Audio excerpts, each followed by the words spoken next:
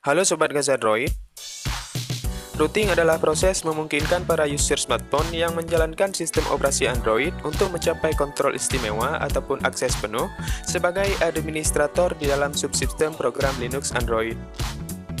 Hal ini dilakukan untuk mendapatkan hak akses lebih tinggi yang dibatasi oleh pabrik perangkat lunak pada beberapa perangkat.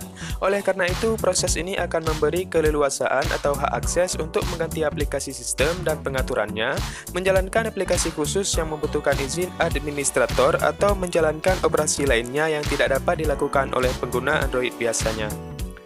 Namun, di ketika kita ingin membuka aplikasi banking atau semacamnya di HP yang sudah di root, tentunya akan muncul notif seperti ini. Hal ini merupakan salah satu cara dari pihak bank atau developer aplikasinya agar kita tetap aman ketika bertransaksi menggunakan aplikasi mereka. Oleh karena itu, akan timbul pertanyaan dari beberapa user Android, apakah masih bisa menggunakan aplikasi banking dalam keadaan HP sudah di root? Jawabannya bisa. Kemudian, apakah aman menggunakan aplikasi banking dalam keadaan root? Semua itu kembali kepada user Androidnya, selama tidak ada sistem yang dirubah dan tidak ada aktivitas yang berbahaya, semua akan tetap baik-baik saja. Kemudian, apakah akan terjadi error apabila menggunakan aplikasi banking dalam keadaan root? Jawabannya tidak, selama sistem dari pusat bank memang tidak terjadi kerusakan, tentunya sobat akan tetap bisa mengakses aplikasi tersebut dengan baik. Adapun error yang sering dialami ialah pada jaringan atau sinyal yang kurang baik. Lalu pertanyaan yang berikutnya, bagaimanakah cara membuka aplikasi banking dalam keadaan root? Di dalam video ini, saya akan menjelaskan cara membuka aplikasi banking pada smartphone yang sudah di root.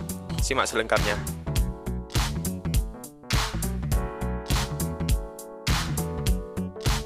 Sewaktu sobat membuka aplikasi bankingnya, maka akan muncul notif seperti ini. Dan sobat tidak bisa masuk untuk menggunakan aplikasi tersebut. Jadi, hal yang pertama yang sobat perlukan adalah Magis Manager, yang artinya Android sobat sudah di-root dengan menggunakan Magis. Lalu, pastikan pada Magis Managernya sudah terpasang modul Busi Box NBK dan modul Magis Prop Config, yang keduanya bisa sobat download pada menu unduhan Magis. Kemudian, sobat buka aplikasi Terminal Emulator ataupun aplikasi Termux yang bisa sobat download di Play Store Kemudian ketik su, lalu enter.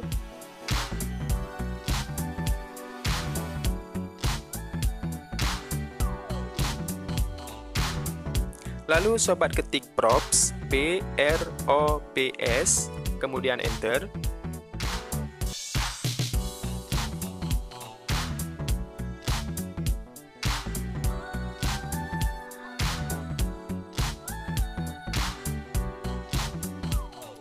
Kemudian akan muncul beberapa pilihan seperti ini.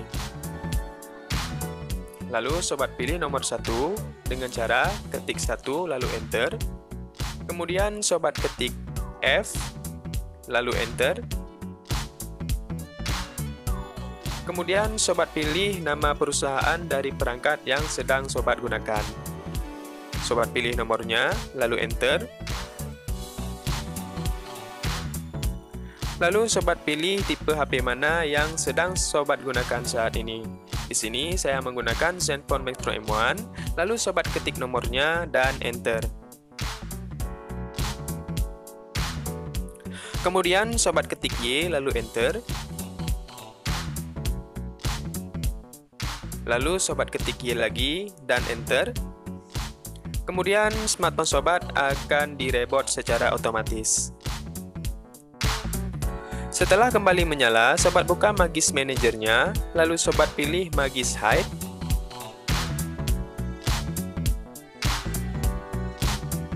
Kemudian sobat checklist pada aplikasi yang ingin sobat sembunyikan akses rootnya. Kemudian sobat buka aplikasi bankingnya. Jika masih muncul notif seperti ini, sobat kembali. Lalu sobat buka aplikasi Selinux mode Cenger dan ubah mode Selinuxnya menjadi permisif.